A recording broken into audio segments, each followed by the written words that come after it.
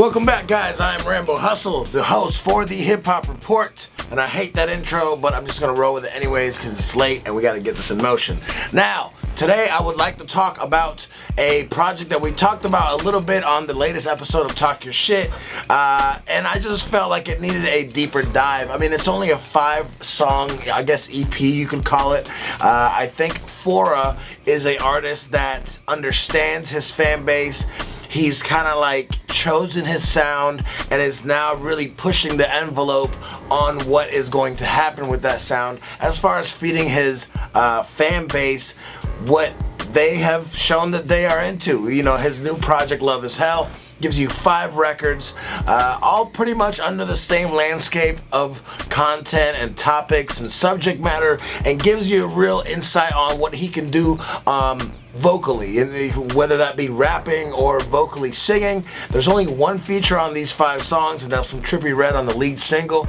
Um, and even that record I think is really strong. And it's actually a really strong record for Trippie Redd in regards of really fitting into Phora's world in what he's trying to do sonically and with his content as far as making love records for girls.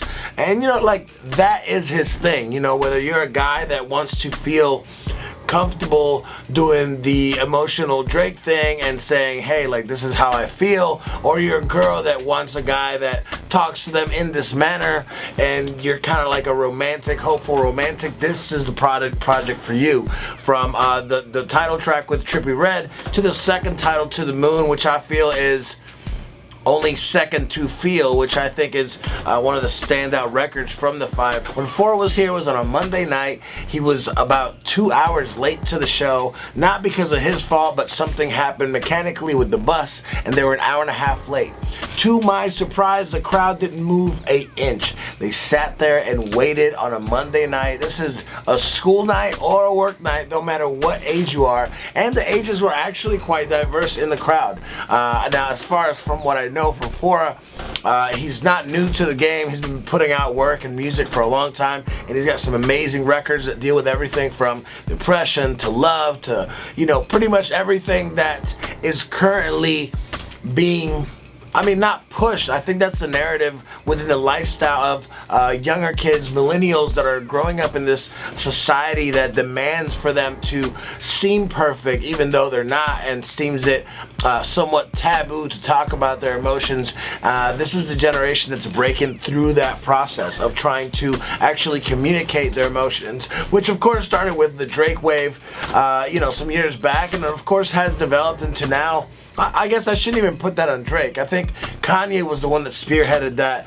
But I think Drake obviously has been the person that did this particular type of style of music the best. He really manifested what that style was going to sound like, what that style was going to be, and uh, really taking into his own terms what was going to be the new mold for a rapper. And of course now that's why we see so many rappers that sing and singers that rap and nobody knows who's doing what.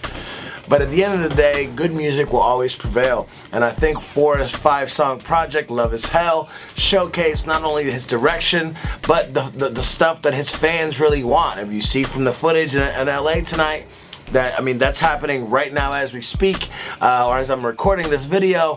It's uh, it's pretty insane to see that kind of response. And if you remember when Kendrick and, and TDE came out they did that down at the Staples Center. Now Hollywood I think is even crazier because I think that area is flooded with so much tourism and so many people that may or may not know who he is. It really showcases how far his reach has reached and essentially showcases where he's at with his career in, in regards to taking the next step forward and elevating his music and his fan base to where he's going to end up being able to uh, reach his full potential, which I think is in the same lane as Logic though not as rappy. He does more singing to me. I feel like he's more focused on his vocals.